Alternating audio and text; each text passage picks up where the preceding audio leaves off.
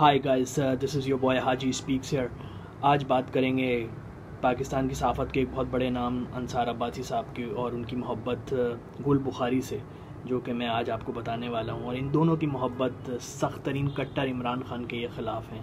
uh, سو آج اس topic پہ بات کریں گے۔ سب سے پہلے بات کرتے ہیں انصار عباسی صاحب پہ۔ انصار عباسی صاحب کے بارے میں کیا کہا جا سکتا ہے؟ صبح ماشاء اللہ یہ موصوف شروع ہوتے ہیں، قرآن کی آیتیں ٹویٹر پہ لگاتے ہیں دروش شریف لگاتے ہیں، جو کہ میرے خیال سے اچھی بات ہے، لگانا بھی چاہیے۔ لیکن جو ہے وہ اکثر آپ ان کے پیٹرن پہ غور کریں تو یہ دوپہر یا شام کے ٹائم کے اوپر عمران خان کی نفرت کے اندر جو ہے یہ گل بخاری کے روئی ٹویٹ کرتے ہیں۔ حالانکہ گل بخاری سے ان کا کوئی تعلق نہیں بنتا، یہ ایک بالکل ایک ایکسٹریم رائٹ، ایک ایکسٹریم لیفٹ لیکن عمران خان کی نفرت میں یہ سب اکٹھے ہو جاتے ہیں۔ تو ویسے تو یہ بڑے فیک مولوی بنتے ہیں اور وہ بڑی ماشاء اللہ فیک لبرل بنتی ہیں۔ تو بس ان کے بارے میں یہی کہا جا سکتا ہے کہ بھائی یہ منافقت بند ہونی چاہیے، ڈبل کھیلنا آپ بند کریں۔ اب یہ سجدہ خالق سے اور ابلیس سے یارانہ بھی تو یہ کیسے چلے گا معاملہ؟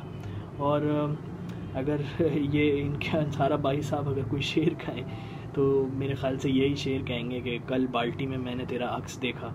اور پھر بالٹی ہلا ہلا کر تیرا رقص دیکھا۔ تو بھائی کیا کر رہے ہو آپ؟ مطلب یا تو ادھر آ جاؤ یا اس سائڈ آ جاؤ۔ آپ ڈبل وکٹ ڈبل وکٹ، ایسے کب تک چلاؤ گے؟ عمران خان سے آپ کو سخترین نفرت ہے ابھی وہ امریکہ کے دور پہ گئے تو آپ کہتے ہیں کہ وہ انکیپیبل ہیں انکمپیٹنٹ ہیں۔ یہ سب باتیں جو ہیں آپ میر شکیل کے کہنے پہ کرتے ہیں۔ اور obviously you are nothing but a puppet of Mir Shakeel. اور اب یہ کیوں کرتے ہیں آپ باتیں؟ ویسے آپ کو ٹرسٹ بھی ہے عمران خان پہ کیونکہ عمران خان جب یو ایس جانے لگے تو آپ نے ایک نیا شوچا چھوڑا۔ اوبیسلی آپ کا مولوی پناہ جاگ گیا تو آپ نے بولا کہ جی عافیہ کو لیتے آنا۔ جیسے امی نہیں کہتی، بیٹے آدھا پاؤ دہی لیتے آنا تو بھائی اس طرح عافیہ کو لانا مطلب کوشش کی جا سکتی ہے۔ اور آپ کو بھی یعنی کہ اندر سے امید ہے کہ یار یہی بندہ لے کے آ سکتا ہے۔ اس سے پہلے زرداری صاحب بھی گئے، اس سے پہلے جو ہے وہ نواز شریف صاحب دو مرتبہ گئے۔ تب تو آپ نے کوئی ایسی باتیں نہیں بولی۔ تو یہ آپ میر شکیل کے کہنے پہ اوپر آپ کیا کیا باتیں کریں گے؟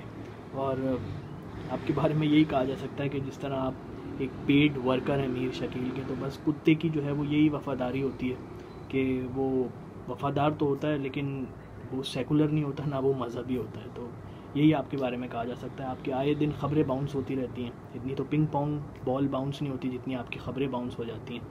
تو ایسا نہ کیجیے سر، ورنہ دونوں کانوں کے بیچ میں آپ کا سر ہوگا۔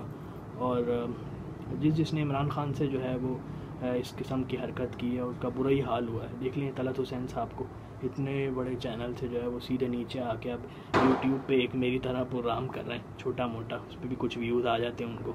تو سدھر جائے انصارہ بھائی صاحب، گل بخاری صاحبہ سے تو میں بالکل مخاطب نہیں ہوں کیونکہ میری اوقات ہی نہیں ان سے مخاطب ہونے کی۔